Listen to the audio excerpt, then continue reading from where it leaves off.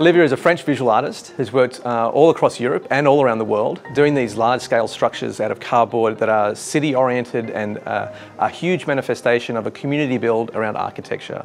And he's done that kind of work all over Europe, uh, world famous for this type of uh, initiative, but really it's not just the object we need to focus on. Olivier's project is about the making, the process of inclusion, the process of community building. How do you involve many people? How do you bring all age groups together to put these structures into place? So in that sense, Olivier's work is very much about the contribution that we all make to the city.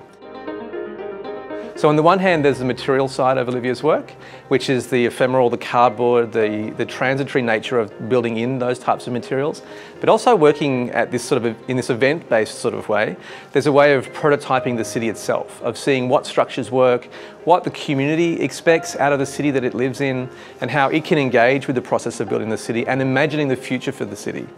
So what architecture tends not to do a lot is to share the idea of imagination for the city to come. Olivier's work opens a door to that.